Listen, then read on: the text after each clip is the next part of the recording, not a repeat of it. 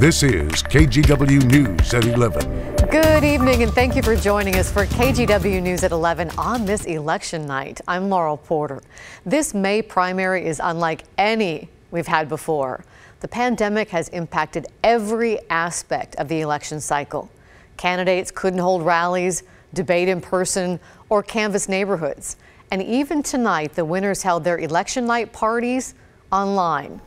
Things are even different here at the station. Dan Haggerty joins us from the newsroom. Dan, what a night tonight. Absolutely. I, can I say it's just nice to be anchoring a show with you again. Also it sure here, is. here at 11 o'clock. But Laurel, normally behind me on an election night, it's bustling back here, but a majority of our folks working from home tonight. Of course, our reporters are keeping in touch with campaigns from their home offices, so we are going to check in with Pat Dooris and Maggie Vespa soon. They're following the major races and issues to impact Portlanders. And you can see the results running at the bottom of the screen throughout the newscast here and check at kgw.com if you want to learn about a specific race. Now, Portland has three city commission seats right now up for grabs as well as the mayor's office. Currently, right now, Mayor Ted Wheeler is ahead with 52% of the vote, followed by Sarah Iannarone. It's not clear yet if this is going to go to a runoff. Now, Wheeler would need to stay over that 50% mark to avoid a runoff election here, and it's still too close at this point to tell if that's going to happen or not. It does look like Carmen Rubio has won the first position seat on City Council. She'll be replacing Amanda Fritz, who decided not to run for re-election. The next two races will likely go to a runoff. We're talking about Loretta Smith. She is leading the way right now for position two, followed closely by Dan Ryan, then Tara Hurst. The top two candidates will advance to the runoff. And in position four, similar story there. This is a very close race, a three-way, uh, three-way kind of race between the incumbent Chloe Eudaly, you see on the left, Mingus Mapps, and former Mayor Sam Adams. Same thing here. The top two will advance. Let's turn thing over, things over to Pat Dooris now. He's been following the races for Portland's mayor and city commission and joins us live from his home in Northeast Portland. Pat. Well, Dan, it has been a historic night, actually, with the first ever Latinx elected to Portland's City Commission. And it has also been an interesting night for the mayor's race, which may or may not be over.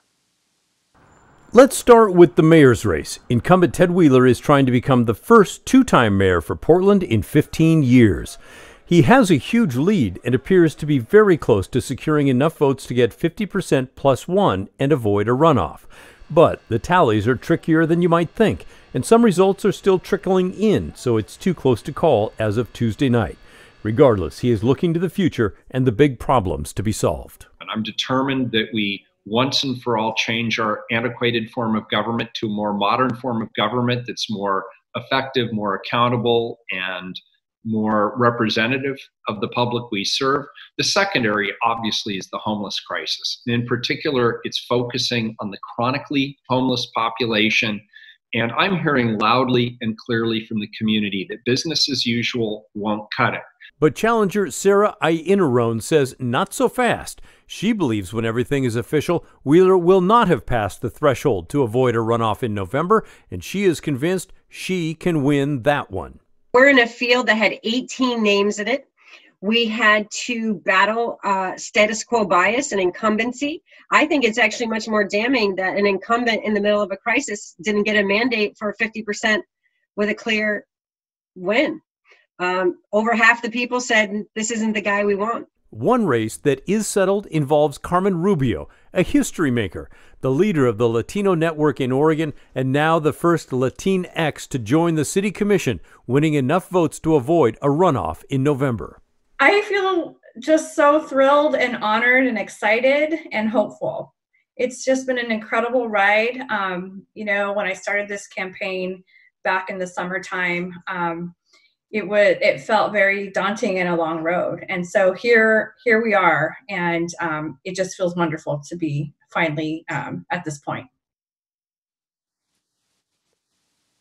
It has been an interesting night of election coverage for both i think the reporters and for the candidates but not for the voters. Our mail-in worked just like it always has. Back to you Thank you, Pat Dooris, live for us in Northeast Portland. Great to have you with us tonight. Portland voters also had two tax measures to decide on this primary. First, voters have approved a renewal of the gas tax. That's a 10 cents per gallon tax that will last another four years. Then there's the Metro measure to fund homeless services. That has passed with 57% of the vote. We want to bring in our own Maggie Vespa now, who's been following that measure closely with a look at how that funding will be used. Maggie? Yeah, Laurel, good evening from my kitchen, my home studio on election night. And you know, your point's really interesting because there's a lot of flexibility written into the measure itself. Basically, it says that the money has to be used kind of under the umbrellas of certain services, like it has to be used for rental assistance or it has to be used for mental health treatment. But beyond that, counties can kind of adjust their budgets as needs change. And officials say they think needs have already changed, a little bit at least, because of the pandemic. So here's some of what we heard earlier tonight sort of on a victory press conference on Zoom. Take a look. We are super excited tonight. I actually haven't had a chance to step away and experience how excited I am. Um, but I'll, I'll, I'll, say that um, I'm uh, not too surprised and, and, and believed that our community would be with us. Reps from multiple agencies pushing for Metro's homeless services tax jumped on Zoom minutes after the race was called. We still care about those of us who are most vulnerable. We still care about um, being just a minute, sweetheart. They mm. championed voters' decision to put a 1% tax on high earners and businesses that earn at least $5 million in revenue. In all, it should bring in around $250 million a year to Metro, which covers Multnomah, Clackamas, and Washington counties. Per the measure, the money will then be used to fund things like addiction and mental health treatment, job services, and rent or housing assistance. Specific budgets will be ironed out county by county as needs arise. And reps note those needs have already shifted because of the pandemic. We may see additional rent assistance dollars going out the door as opposed to some other things, but for the most part, it was built into the measure to respond to economic fluctuation. The revenue will start rolling in next year, but services could ramp up sooner if the counties are willing to front the money.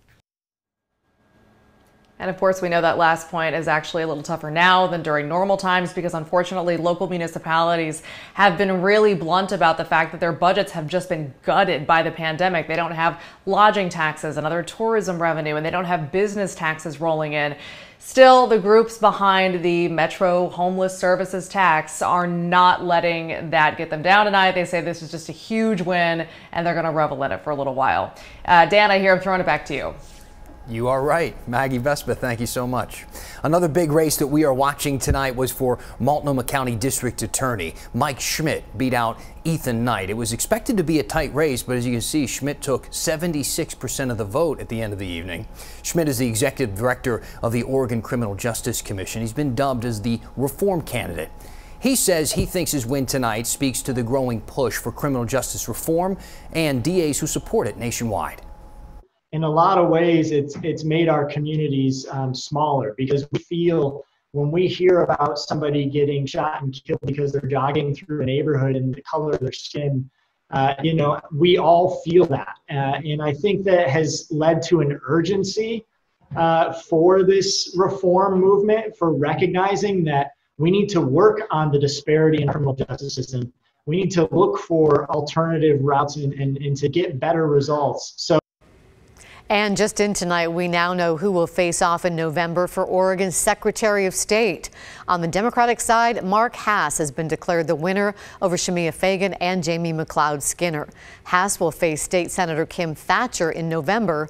She won the Republican nomination tonight. There are many more races, of course, that we haven't covered here at the beginning of our newscast. If there's one in particular that you're looking for, you can head to kgw.com slash elections to see all of the results. You can also find them on your KGW app.